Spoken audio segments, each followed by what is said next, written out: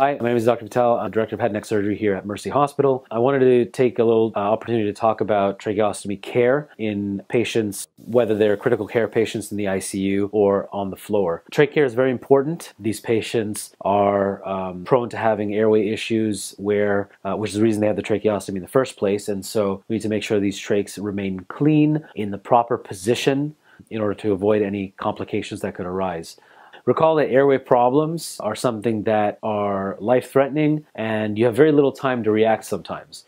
So this is something that is very important to know, you know, as a routine, uh, just as routine it is to give a patient pain medication or help a patient go to the restroom or put an IV, because the airway is something that you know we need to maintain in order to uh, to keep a patient alive. So this is a tracheostomy. Um, this is you know a patient that I would have. Let's say the the tracheostomy is sutured in place.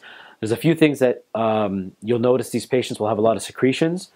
Patients who have had head and neck surgery, in particular, and airway surgery, are more prone to having secretions than, say, a patient who has had a neuro neurological injury or a septic patient, simply because we've operated on the airway, and so the mucosa has been irritated, has been cut, and so it's going to secrete a lot of mucus, uh, which is a normal protective mechanism. And so all of these patients, in particular the ones with head and neck surgery, will have excessive amount of secretions. Now it is our job to determine uh, when those secretions are excessive from the patient's condition versus are the secretions coming from the tracheostomy itself? Because sometimes the tracheostomy itself will stimulate secretion production. Similar to if you have a JP drain in place, the JP drain is continually putting out, you have to make a decision at some point, is the JP drain actually stimulating some of these secretions, and so will removing the JP actually decrease the secretions? That's a judgment call, and that's something you need to determine uh, based on the patient's condition. In terms of managing these secretions, there's a few different things. You'll notice that these secretions will come out one of two places, either through the tracheostomy tube itself, sometimes it'll leak around the edges, and there will be uh, secretions in the oropharynx. Recall that when you have a tracheostomy in place, when you have the oral cavity, the oropharynx, the hypopharynx, which is below the oropharynx, and you have the larynx, which is the vocal cord area, and then the tracheostomy is below there. So recall that when you are creating a closed system with a tracheostomy, the entire hypopharynx, oropharynx, and oral cavity, the patient is not breathing through there anymore. The patient's airflow is going through the tracheostomy into the lungs and out of the lungs through the tracheostomy. Secretions can and will build up up top. And so it is important to perform deep suction with a Yankauer uh, suction. So when you are suctioning in the oral cavity, you don't want to just suction kind of superficially. You want to get back there without injuring anything, but all the way back as deep as you can go past the curve here in order to get down into the airway to really get those secretions. Why is that important? Because if you have, for example, a cuffed trach and you have a buildup of secretions in the oral pharynx and you are switching to an uncuffed trach, taking them off the ventilator, what have you, once you pull the air out of the cuff and you deflate it, all that mucus that's up top that's sitting above the cuff is going to drop into the lungs. And so it's very important to suction before you do all of that. Similar to when you suction a patient before you extubate them. Similar idea. When you're suctioning a patient, there's a couple of ways with a tracheostomy, a couple ways to do it. Here, you're all familiar with this um, soft suction that's attached to the circuit.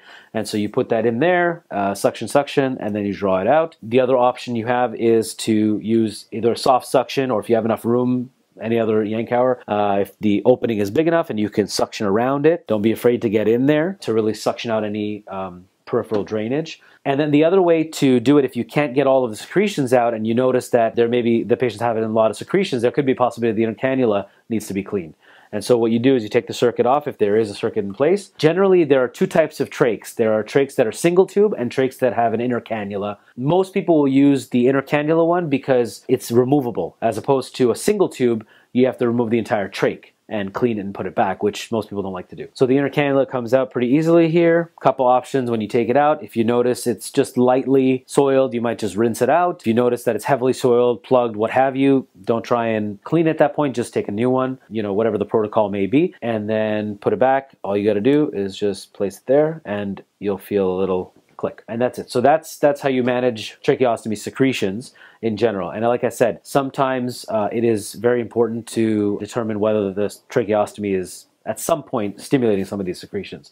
One other important point is trach positioning because uh, when you have a circuit that's attached to the tracheostomy uh, because of the weight of the circuit sometimes if you've noticed the tracheostomy sits like this.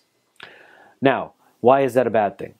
A uh, couple of things. So think of the anatomy of a trach here. So the trach is like this, right? You've got the trachea here, and you've got the esophagus behind. And so if the tracheostomy, if this is the trach, and the tracheostomy is leaning forward like this because of the weight of the circuit, the tip of that tracheostomy, the tip of that tracheostomy is sitting and irritating the back wall of the trachea, which can cause several problems. One, increased secretions. As it's sitting there, it's irritating the mucosa, causing secretions to come out, and then we think there's a lot of secretions. Secondly, it can irritate the mucosa to the point where you get granulation tissue and a granuloma forming on the back wall, which can plug the trach, as well as cause bleeding in the trach. The third thing is that in the worst case scenario, this perforates through the esophagus or the tra- posterior tracheal wall into the esophagus and creates a tracheoesophageal fistula, which is potentially a life threatening condition. And so, trach positioning, all that has to be done is support in, from the front, and that puts the trach in, in the correct position. All of this is important uh, in order to prevent complications um, for these patients uh, in the future. And one of the ways that you can, uh, well, there's several ways to reposition the, the tracheostomy. We have those um, ventilator circuit support arms that you can always use. I find it very helpful to potentially take, um, you open a, a, a, pack of gauze, and then you can put this whole thing to support the patient. You can always secure it.